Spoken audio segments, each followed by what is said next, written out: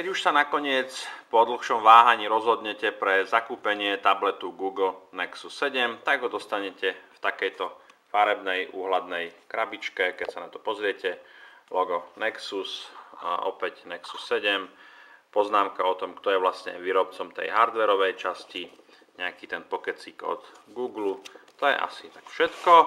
Po odtiahnutí toho vrchného obalu opäť čierny box so strieborným nadpisom a už sa dostaneme k samotnému tabletu. Okrem tabletu toho v tej krabičke moc nie je. Škatulka, kde nájdete nabíjačku, nejaké tie brožúrky o užívaní a to je asi tak všetko. Keď sa vám poprvýkrát dostane nejaké zariadenie do ruky, tak vždycky zaváži prvý dojem.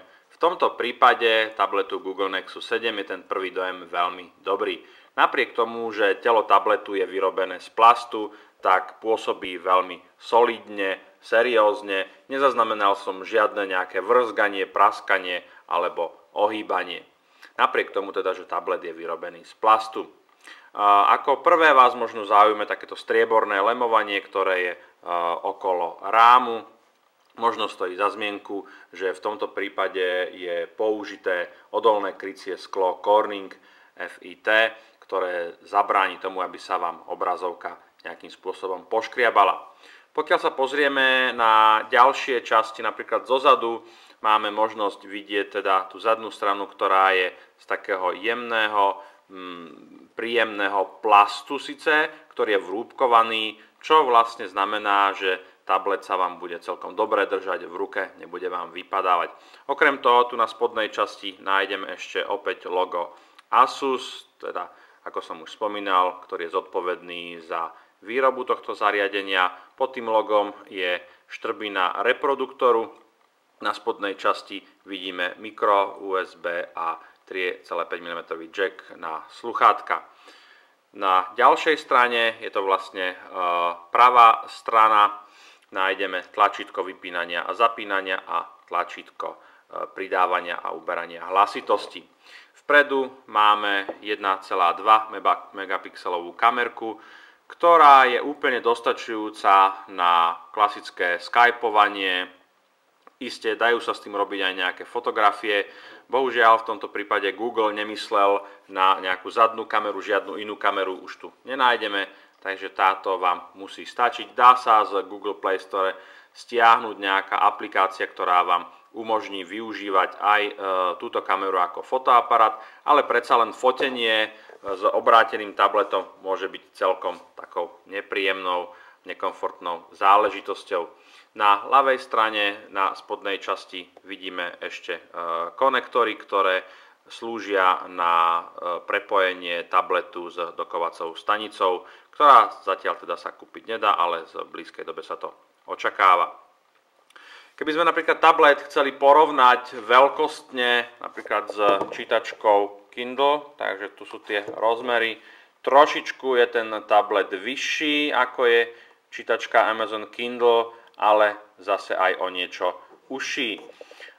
Ten rozmer je veľmi, veľmi sympatický, pretože keď si ho zoberiete, tak vidíte, že sa mi zmestí do jednej, do jednej ruky. Dokonca, keď prehmatnem, tak dokážem s tabletom potom celkom komfortne pracovať. Takže tých 7 palcov, ktoré Eh, nám eh, tablet eh, poskytne, je úplne dostačujúcich na to, aby sme videli to, čo potrebujeme vidieť aby sa ešte komfortne ovládal. Takže poďme sa pozrieť na to, čo sa skrýva vo vnútri tabletu. Tablet zapnem. Tu na opäť vidíme naskočenie loga Google. Display tohto tabletu naozaj má veľmi príjemné rozlíšenie. 1280 na 800, čo v konečnom dôsledku znamená, že obrazovka sa naozaj javí ako veľmi jasná, čistá, e, skutočne či už písmo, alebo obrázky, alebo videá sú krásne, krásne zretelné, krásne e, rozlíšiteľné, takže naozaj nie je potrebné báť sa nejakých nejasností alebo e, neostrostí. Takže tu sme sa dostali teda na úvodnú, úvodnú obrazovku, úvodnú obrazovku operačného systému Android Jelly Bean. Čo je zaujímavé v tomto je možnosť všimnúť si, že tu existuje niečo, na čom sme sa mnohí tešili. Je to tzv. to rozhranie, ktoré slúži pre niekoľkých užívateľov, takže v spodnej časti vlastne máme možnosť vidieť tablet sa vypol, zapneme ho, vidieť možnosť prepínania si toho užívateľa. Čo je zaujímavé, teda vidíte, že e, po prepnutí toho užívateľského rozhrania sa akoby e, zmení, zmení to nastavenie, čo znamená, že ten e, multi-user mode vám umožňuje, aby na tom tablete pracovalo akoby niekoľko ľudí a nemuseli ste sa všetci pohybovať na tej istej obrazovke alebo v tom istom rozhraní. Takže sa prepneme opäť naspäť zmení sa nám to rozhranie, aj ten e, dizajn. E, po odomknutí sa dostávame štandardne na prvú úvodnú obrazovku, ktorá je oproti predchádzajúcim e, tabletom alebo to rozhranie možno trošku iné v tom, že e, klasické tlačítka, návrat domov a E, zoznam aplikácií sú umiestnené v strede, čo skôr pripomína e, takéto smartfónové riešenie, ale vzhľadom na to, že sa jedná o tablet, ktorý sa dá držať v jednej ruke, tak je to riešenie, ktoré je celkom sympatické a síce nejakú dobu možno bude trvať, kým si na ňo zvyknete, ale potom je to už všetko v poriadku. Čo nás uvíta na tej úvodnej obrazovke, Môžeme si tablet preklopiť do toho rozhrania, aj tu sa nám naskočili nejaké tapetky. Takže čo vidíme a čo sa dá e, vypozorovať, e, v pravej hornej lište máme na rozdiel od e, predošlého systému Android lištu, ktorá nám po rozkliknutí alebo roztiahnutí ukazuje možnosti nastavenia, jas a tak ďalej. Zajímavé je, že si tu môžeme e, prepínať manuálne e, možnosť alebo schopnosť tabletu pretáčať obrazovku. Takže môžeme to zapnúť, rozhranie vrátime naspäť. Na ľavej strane sa nám nachádza opäť notifikačná lišta, kde nám povedzme e, prichádzajú informácie z mailov alebo aktuálne aktualizované aplikácie ktoré máme na tablete nainštalované. Keď sa pozrieme na presúvanie medzi jednotlivými obrazovkami, tak naozaj je vidieť, že ten tablet je veľmi svižný. Ne, nepozoroval som po niekoľkých dňoch používania a po nainštalovaní x aplikácií žiadne nejaké problémy, nejaké zasekávanie alebo lagy, takže naozaj ten e, štvoriadrový procesor, ktorý je tam umiestnený, skutočne e, si plní svoju funkciu navyše s podporou tej grafickej karty GeForce e, si naozaj môžeme užívať dokonalý grafický zážitok podporovaný tým skvelým rozlišením. Keď si rozklikneme tamto pravé, pravé tlačítko, tak e, vidíme zoznam aplikácií, opäť tie prechody medzi nimi sú e, veľmi, veľmi svižné, mini aplikácie, ktoré sa dajú pridávať do toho rozhrania, tým sa celý ten tablet samozrejme dá veľmi pekne personalizovať. Pri tabletoch je vždycky otázka, čo je akoby ich základnou funkciou alebo základnou úlohou. V tomto prípade naozaj sa môže jednať o taký prvý vstup do sveta tabletov, ktorý je podporovaný aj veľmi priaznivou cenou na slovenskom trhu, ktorá sa pohybuje okolo 225 až 229 eur v rozličných e, e-shopoch. Môžeme sa napríklad pozrieť, ako svížný je tablet pri prehrávaní nejakého videa YouTube. Samozrejme je potrebné byť pripojený na Wi-Fi nejakú,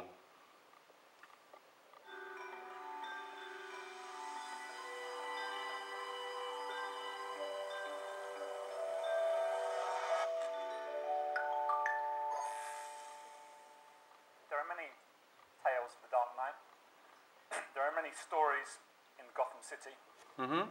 No, takže možnosť prehrávať eh, video je naozaj bezproblémová. Takýto tablet je skutočne skvelý na prehliadanie internetových stránok, na takéto bežné užívateľské surfovanie, e, kde skutočne si môžete prepínať e, medzi záložkami, môžete, sa, môžete sledovať stránky. Naozaj z tohto pohľadu je ten tablet skutočne úplne bezkonkurenčne svižný, Vidíte, že tá stránka sa načítava veľmi rýchlo, po dvojkliku dokážeme text rozšíriť, dokonca ešte viacej. A opäť nezaznamenávam nejaké, nejaké zasekávanie alebo nejaké lagy, rovnako aj prepínanie medzi záložkami, samozrejme tam musíme rátať s nejakým tým načítaním toho textu, je, je veľmi, veľmi svižné. Takže to je, tá, tá rýchlosť je skutočne aspektom, ktorý môže byť rozhodujúcim faktorom vtedy, keď sa rozhodujete, aký tablet si kúpite, do čoho vlastne pôjdete a pokiaľ naozaj ste možno trošku netrpezliví a, a chcete, aby vám a, vaše zariadenia fungovali veľmi svižne, tak potom tento tablet Google Nexus 7 bude naozaj veľmi dobrým riešením. Čo sa týka ďalšieho využitia takéhoto typu tabletu, je to niečo, ako som, už som ho porovnával e, s tou čítačkou Amazon Kindle. Samozrejme, Kindle alebo čítačka ako taká je zariadenie, ktoré je primárne určené hlavne na čítanie elektronických kníh, ale my sa môžeme pozrieť napríklad na čítačku Kindle, ktorá sa takisto e, dá nainštalovať aj na toto zariadenie a plní vám tú istú funkciu ako tá klasická čítačka s tým e-inkom. Môžeme sa možno pozrieť, zaostriť na nejaký, na nejaký text.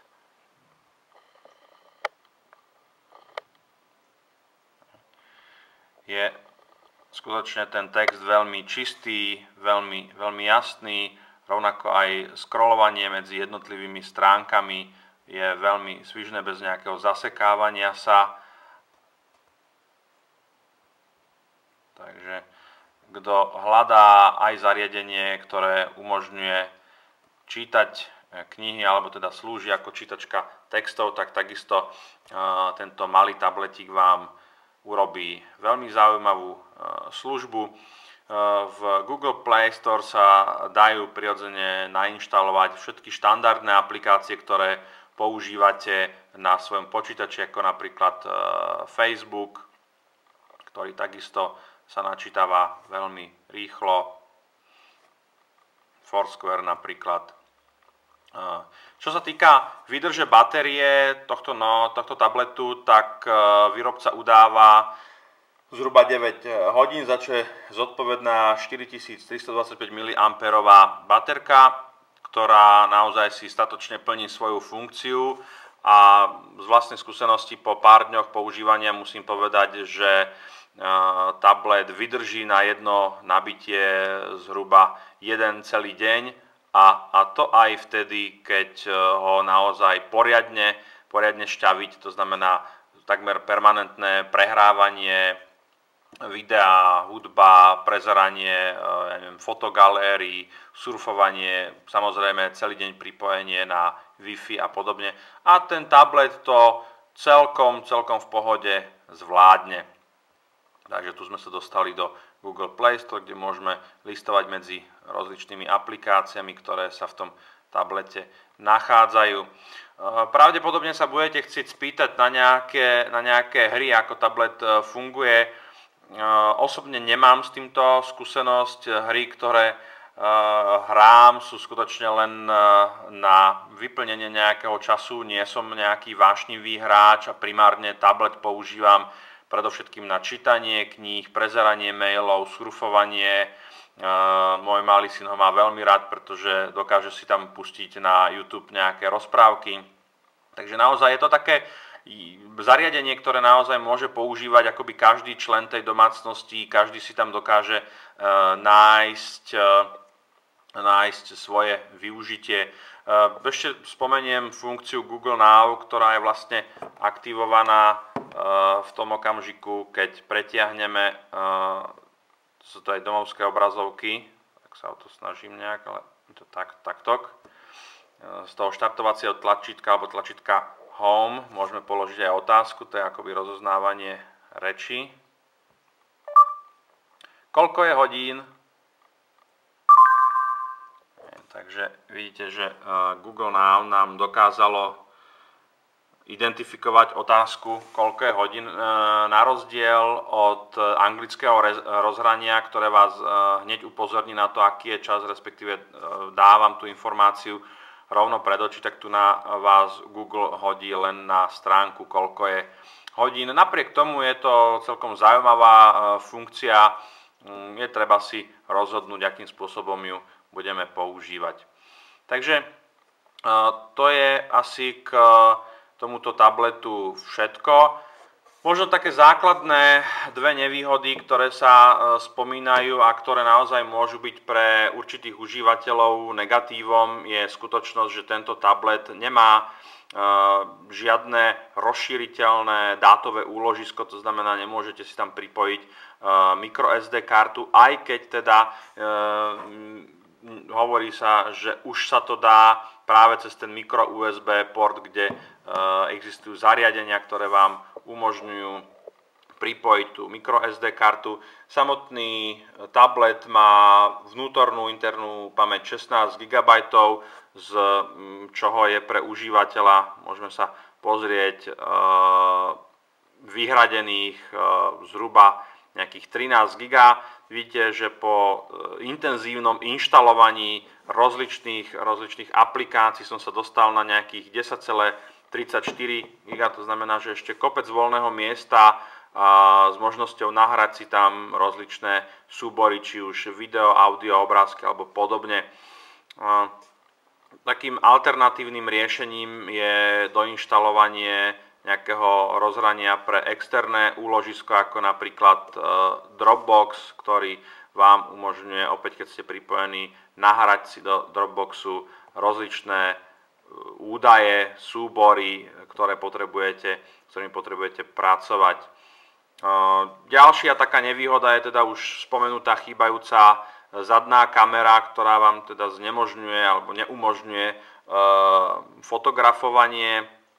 To sú možno také tie základné dve nevýhody, o ktorých sa, o ktorých sa hovorí. Na druhú stranu ten tablet svojou kompaktnosťou, výkonou, grafickým spracovaním alebo teda dizajnovým spracovaním, výkonom, výkonom tej grafiky je skutočne zariadením, kedy za veľmi rozumnú a priateľnú cenu dostanete, tak povediac, špičkové zariadenie.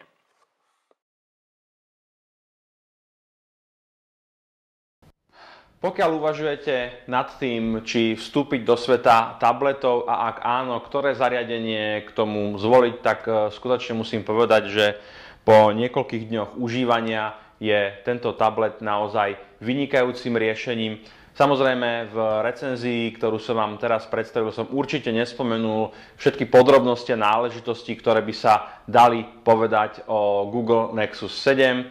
Napriek tomu budem rád, keď v komentároch pod videom alebo na blogu, pokiaľ budete mať nejaké otázky, ktoré sa týkajú tohto šikovného tabletíku, kľudne mi ich môžete položiť, ja sa na ne budem e, snažiť odpovedať tak, aby naozaj to rozhodovanie vaše, či si tento tablet zakúpiť alebo nie, bolo postavené teda na dostačujúcich informáciách. No a Zatiaľ vám držím palce e, v tom, čo robíte a teším sa opäť niekedy pri ďalšej recenzii.